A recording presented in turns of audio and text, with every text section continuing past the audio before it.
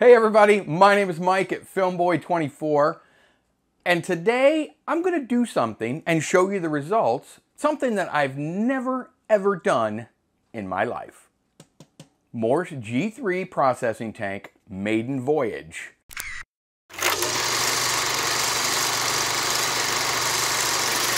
That's right, Although I've owned, over the last 25 years, I've actually owned three or four of these Morse G3 type processing tanks, but I've never ever used one. I've always sort of been intimidated by them or a little nervous about them and uh, I never actually used one. So after, uh, you know, a little back and forth with my uh, uh friend scriber there, Ted, uh, he said, you really should give it a shot. He gets consistent results with it. So I picked up, bleh, picked one up on eBay really cheap, like cheap. Uh, and it's in really good condition. And all I did was replace the little foam seal around the edge of the little window here, just so we don't get light leaks, and gave it a test run.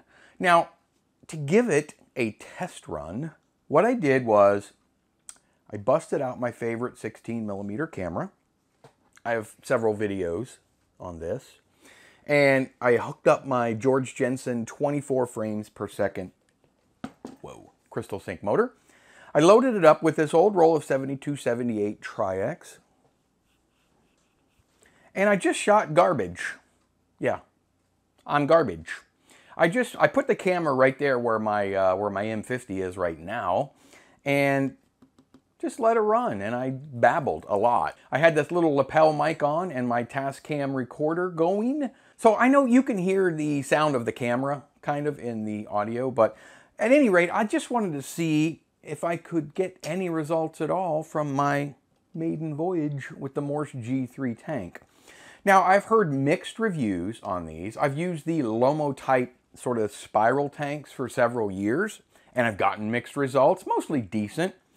But I've also heard good and bad about these G3 tanks. Now this particular one will only process 16 and 35 millimeter film or double eight. It won't do super eight unless you modify it, which I did see a modification online. Anyway, I wasn't that interested in doing super eight in this tank anyway, as it is really meant for 100 foot rolls or less. So to try to get more consistent results, essentially with black and white negative film, which is what I process, I know this is reversal, but I process it as a negative uh, I decided to give it a shot. Now let me clear this off really quick. Hold on. Like that. And what I did was I shot a roll of Tri-X film, looked a manual up online for this bad boy, and took it in that bathroom right there that doubles as a dark room, and I loaded it up. Now, I'm not going to go through the process that I used for this as far as actually I didn't in other words I didn't shoot any video of me using the tank. If you're interested in seeing how I load and how I use this tank there are some videos out there already. But if you want to see my process let me know and I'll probably make a video on using the tank. For now I just wanted to see if I could get actual usable results out of it. So what I did it comes with these two metal reels or rollers or whatever you call them I guess they're reels really heavy duty. I mean, they made things really well back in the olden days. Uh, so I, you, you, basically, you take the film right out of the camera and it's on the 100 foot daylight spool. And in the dark, obviously, you thread it onto, or you just push it onto this, lock it in place so the film doesn't pull out. Now this is set for 35. You simply twist it, kind of like the Paterson tank reels do. Now it's set for 16. It's easier to load, I noticed, if it's set at 35 first. It's easier to get the film in here in that little slot. Once you get it in, you lock it down. Then you can move this down to 16, as long as you keep it on the uh, flat side down here. And then you close, you push this down, you put your 100 foot daylight spool in there, boom, close it up, and you spool it onto the Morse reel. Once you have that, you take this out and you take the other end, you clip it into this one, you put them both in the tank, close it up, take it into that developing room kitchen and process your film. Now, here's what I did. I, I didn't have a clue how to use this. As far as, the, you know, black and white films are fairly consistent and there's a lot more leeway when it comes to processing black and white film than there is when it comes to color film, uh, as far as your times and your temperatures. So I essentially just guessed at what I thought might be close.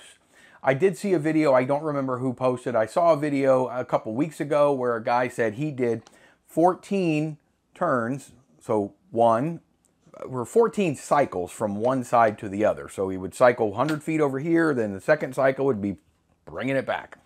Now he was doing reversal film, I'm doing negative film, but I thought maybe that might be kind of close because with Tri-X I usually go anywhere from five to eight minutes depending on how old it is or what type of Tri-X it is. So with this I decided I would do 14 turns. Now I did a couple of practices and it took me at a steady pace about a minute and a quarter to go from one side to the other, give or take a little bit depending on how tired I got. So what I did was I cooled my chemicals. I used HC110B fresh, one liter, and I cooled it down to 66 degrees Fahrenheit. Uh, use a funnel, I can tell you, if you're going to use the top of this, which you have to unless you do it in the dark and take the lid off. I use a funnel I kind of tilted it a little bit because if you try to pour in here, it's going to spill everywhere unless you're really careful and then it takes forever. So I used a little funnel and I poured it in there. It took about 15 seconds to get all the chemicals in, which is fine. So I did 14 cycles. That came up to just under 17 minutes. Now I'll tell you, it's very labor intensive. If you've ever used a Morse tank, strong arms, strong wrists something I don't have either of. so, so you, you do a lot of cycles, and to me, a cycle is taking 100 foot from one side to the other side. And I did just like this all the way. As soon as it stopped, I instantly started the other side. And again, just under 17 minutes. Drain it, boom, filled it with water. I did four cycles with plain, uh, plain water. And I think I did that twice. Uh, two cycles, drain the water, filled it with water again, two more, just to make sure, because you're really only running a small portion of film through the chemicals or water for a brief amount of time. So I wanted to make sure I got a decent wash. And then I fixed it for close to what I did with the processor, only this time I did 12 cycles. So we're in the 15 minute range. Then I washed it with just plain water and I think I did, I have it all written down somewhere. I probably should have had notes up somewhere, but, and I believe I did 14 more cycles of final rinse. Then I drained the tank, filled it with uh, distilled water, uh, plugged it up, of course, filled it with distilled water, added a few drops of Photo-Flo, really agitate it. You can take the top off at this point. Really agitate the reels up and down, back and forth, get the water kind of sudsy, and then closed it up and I did four cycles in the Photo-Flo. One, two, three, four. At that point, I took the reel off and then I, by hand, squeegeed it and onto a 100 foot, regular 100 foot reel. Hung it up to dry and got some images. Here's what I'll say. I shot it with my Arriflex at 24 frames per second, crystal. You can hear the camera if you listen. It's a loud, very loud camera. It's not meant for sync work or sync sound work unless you blimp it really well. Uh, it's, a, it's, it's one of the other, either a little underexposed. Uh, it's difficult in my little office here for me to light it properly. I use just 100 watt lights. I have seven of them. Uh, I didn't bring in, I have some 1K soft boxes. I didn't worry about bringing those in. So I used the 16 millimeter f2 lens on my Arriflex, this one here right? See it? Can you see it? Uh, used that. I metered it with my little Minolta meter and it gave me f2 at ISO 160. So that lens only stops down to f2, uh, so I kept it there. I either underexposed a little bit or overdeveloped. I, am not positive, but it's a little contrasty. One more thing. This is the strangest thing I've ever seen. It's not my scanner because I scanned the film two or three times trying to work it out. Don't think it's the developing because it would make no sense whatsoever. Has to do with the lens, I believe. But I'm going to show you the film in just a second and you'll see that two thirds or three quarters ish, uh, you know, into the film, the focus just starts going out. So everything is focused fairly well. Now I do everything myself. Everything was sort of focused fine. And then, like I say, it just starts going out of focus. I don't know if it's focusing too far in or too far back. I can't really tell. But by the end of the, whatever, two and a half minutes of film, it's just completely out of focus for some reason. Now, my only, only guess would be that the camera is very loud. It's a little, these Arriflex S's are clunky. Um, and I ran it steady for three minutes. And I don't know, I know the f-stop ring is extremely loose on that particular lens. The focus ring isn't really loose at all. So I don't know if the f-stop ring starts vibrating a little bit, but that shouldn't change the focus. So I don't know. I don't know if the, the focus ring got vibrated a little bit. I didn't touch the camera at any point during any of this. So I'll let you be the judge. If you have any idea of what you think might have happened with my focus, by all means, please let me know. This is a pin registered camera and I'm overly impressed with how steady, rock steady the image stays, as you'll see in one second. And lastly, I did absolutely nothing to the audio to do, I, I simply lined up the front slate the tail slate lined up perfectly on its own. I didn't have to compress or expand the audio or video or anything. I love this George Jensen motor. It stays in absolutely perfect, perfect sync, as you'll see in one second. And without more of this, tell me what you think of my very first try at Morse G3 processing. Let's slate it Like Mike just told you, I'm experimenting. This is the actual film I'm shooting, and this is my G3 tank. Now, I picked this old military style case up at a flea market, but it houses my G3 quite nicely. Let me move it out of the way. There's my Tascam. Uh, so this is it. Now, like I said earlier, I've never used one of these in my life. So the film that you're watching right now was processed in this actual G3 tank. Now, I'm just going to take a peek at it.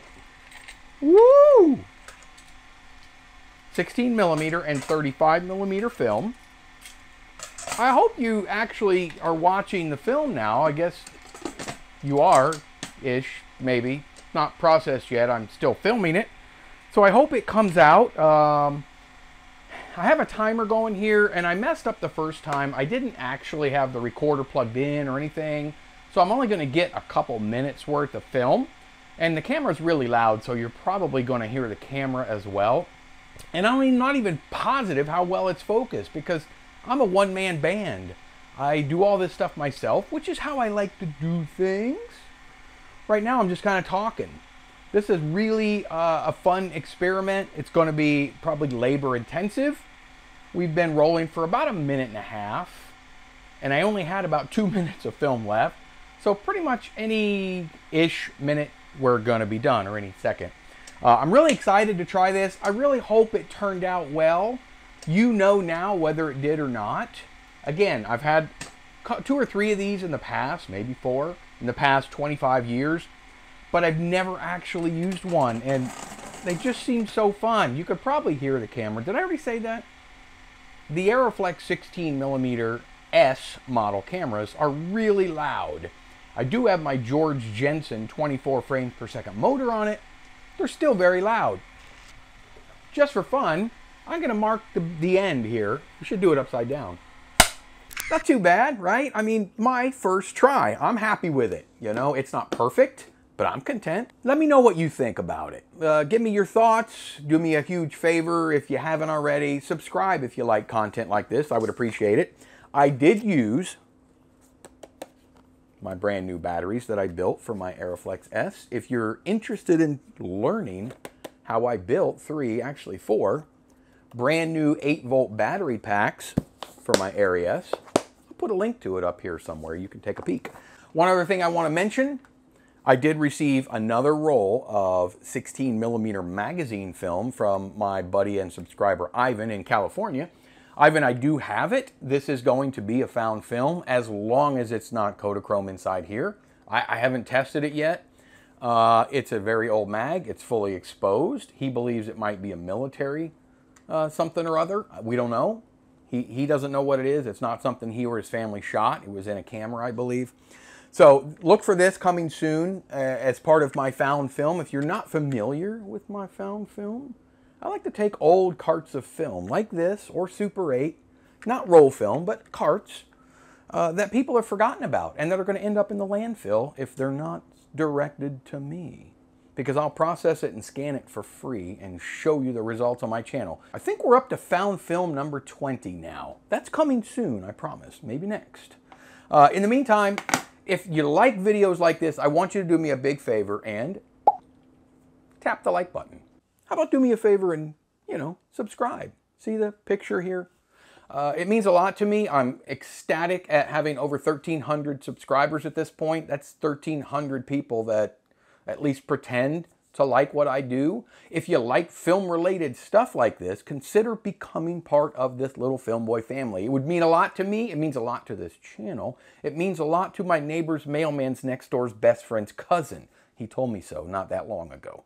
Okay?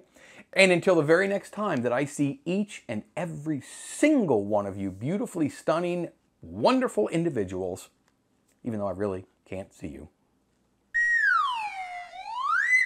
Yep. Mm-hmm. I'll see all of you on the very next go around.